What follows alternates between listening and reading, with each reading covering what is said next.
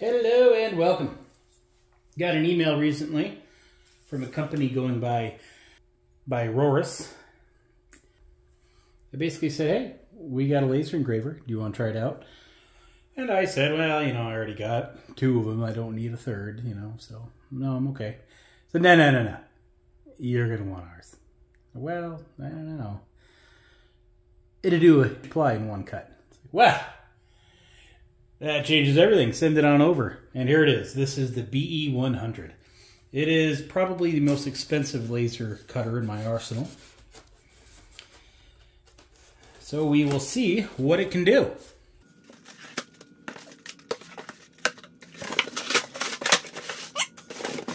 Now that I got the box out of the box, if I can unbox it. Box it to get it together. And see how. Well, right off the bat, you can see that your dollar's going somewhere. Uh, we have a nice packet here. Most of the little laser cutters I've gotten, that's a little little recycled paper brochure of assembly. This they ain't messing around so far.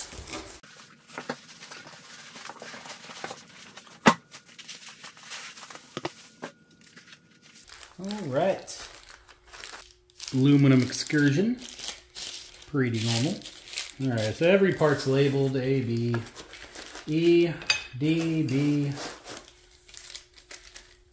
So I'm actually probably going to have to pay attention to the instructions as I put this thing together.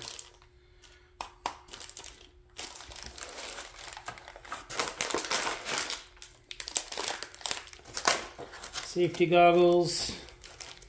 This is probably the laser itself. Nope, brackets.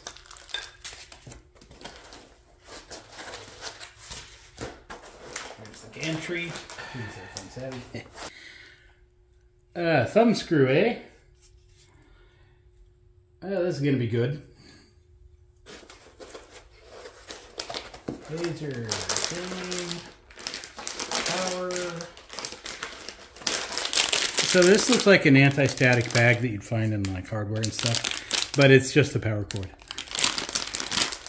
Of all things, I don't need think that needed to be in an anti-static bag. Just throwing that out there. Assemble the frame A, B, and C with four screws. You know what? I could probably figure that out. There's A, B, not C, A, B, C. Alright, piece of cake. Limit switch from A is going to go down. B has no limit switch, so I don't think it matters. Writing, lettering, ruler, whatever you want to call it, it's going to go up. So far, assembly is going way too easy. They uh, taking the time to lay out each screw into each bag makes it quite simple. And then they also labeled each little foot to know where to put G's versus where to put H's. So little things like that make it go pretty quick. Look at this beauty. It uses a drag chain. Most of the uh, laser cutters you're going to see, well, laser engravers, sorry. I mean, technically they're for engraving. You can cut with them. But anyway, most of the ones you see, they just got a cable hanging out, out in the, the ether out in there. First one I've ever seen actually using a drag chain. That's pretty impressive. It's just, uh, I don't know. It's it's little details like that. Because I mean, yeah, you could probably just have the cable hanging out there, and it's not going to make that big of a difference. But I mean, the it's just, I don't know. I don't know how to describe it. It's just a nice thought. So the other nice thing, motors are labeled x-axis, y-axis. Pretty good idea, I'd say. Pretty uh, pretty impossible to mess that up. Now, it could be the reason for the drag chain is just because of the substantial cabling they got on this. But I, I don't know. It's nice either way. All right, well, it is all together. Um, still loving the drag chain. We also have another rail here, one of these ball bearing CNC rails. This isn't. That's not a cheap way to do it. I mean, we're talking professional level stuff here between that ball bearing rail and the uh, and the drag chain. The other thing is every other um, laser machine I've used doesn't use the USB-C. It uses that square, um, I think it's a Firewire. You know, it uses that square old printer type USB cable. This uses the USB-C. So I can use the same cable as I charge my phone with. So I don't need a special cable for it. It's just, just great. Next thing is the adjustment for the height of the laser. You know, it's it's not a it's not a series of set screws you got to move and be a nightmare. It's it's a simple it's a thumb screw. It's just so much better. Makes life easy. Yeah, I mean the cord's in the way a little bit, but it's still better than how you would well, how I've done it on the other machines that I have. The only thing I'm not sure about yet is the uh, setting the the height of the uh, laser. They give you this thing, so 5 watt, 10 watt, 20 watt, 30 watt. I don't know if that's where you set it depending on how thick your material's going or where you plan on using the laser.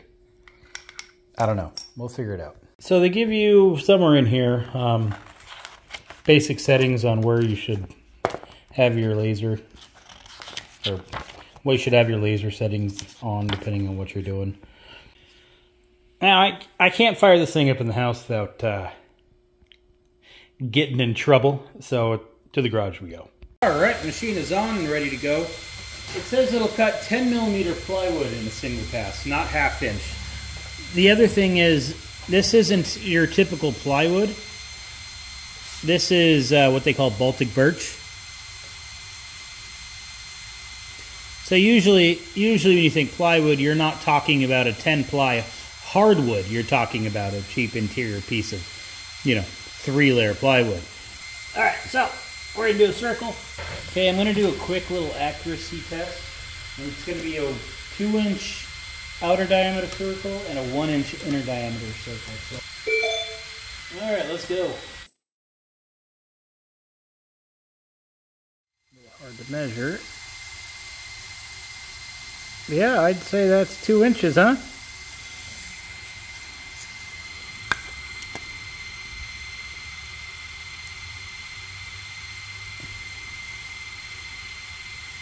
Trying to grab the inner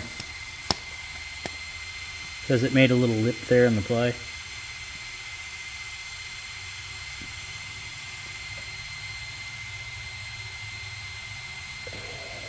Well, anyway, it's too hard to measure, but I mean, it's that's an inch if I've ever seen an inch, you know. I'm cutting out a template for a uh, little wire thing I'm making. A spindle to hold electric wire.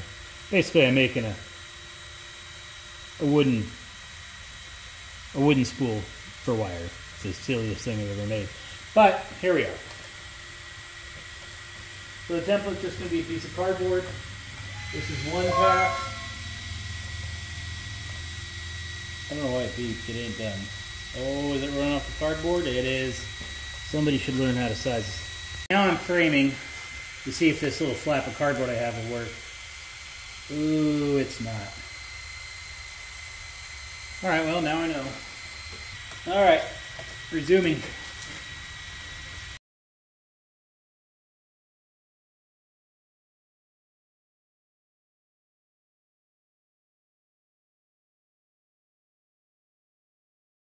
So this thing is going right through that cardboard. It's like a hot knife through butter. I'm kind of wondering if I should have sped the, the feed up a little bit because I could probably go twice as fast as it's going now. But, hey, it's already most of the way done, I think. I will let it finish.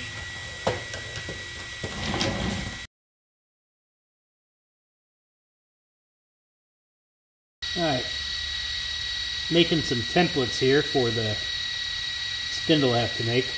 You'll, you'll see in a second using scissors as some workpiece hold down. Working pretty well, know, just cardboard. I'm making another template here. This is going to be a little bracket I need to make. Just to give you an idea of the accuracy it can do. This is a little tiny airplane that I was uh, making for the kid. You know, just out of cardboard. I was going to wrap it in like saran wrap or something and see if it actually flies.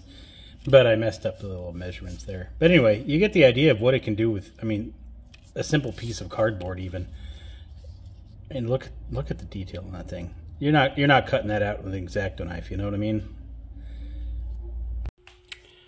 I had to make a little swing for a little elf on the shelf Christmas uh, decoration. So I used the uh, little laser machine there to make the chain. Came out pretty well. It also made my little my little swing base. Little little brackets. And then, you know, extra chain just for whatever reason. But yeah, the thing's working great. All right, it's uh, been about two weeks since I've uh, started using this thing. I've used it for all kinds of things. Most of the time, it's little arts and crafts things the lady wants me to do around the house. But I've been using it to make um, templates for all the metal work that I do. And the thing has just been been great. It's easy to set up, it's quick, it's reliable, and it's accurate. Seems like they're they were worried about quality of the machine. They wanted it to be well built. And they they did not disappoint. This thing, it's it's strong, it's beefy. I'm kind of limited on space out in the garage, and I have to move it around quite a bit. And it's it's it's just sturdy. Basically, no complaints. It'll do everything I need to do. And like I said, having other laser machines, I haven't touched them because this thing has worked out so well for me. So let's talk safety for a second.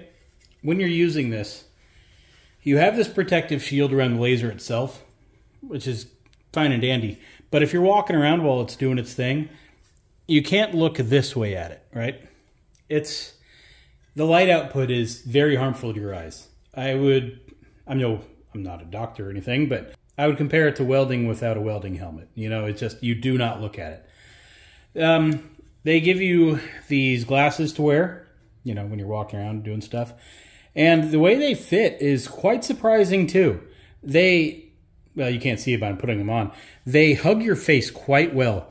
It blocks out all the light from your side vision, which the other glasses that I have don't. They don't cover that much and no sides. Like even the glasses, it seems like they went full care on making sure you got the best of everything you could with this thing. If you were to get one, I don't think you're going to have any complaints about it. So I'm going to see if they make anything else. I, don't know if they do. But if they make like a... Uh, a 3D printer or something, or maybe even like a little CNC router or a CNC uh, mill or whatever.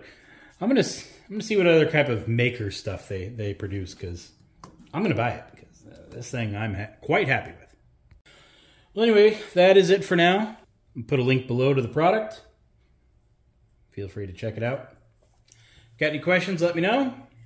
I will do my best to help you. All right. See you later.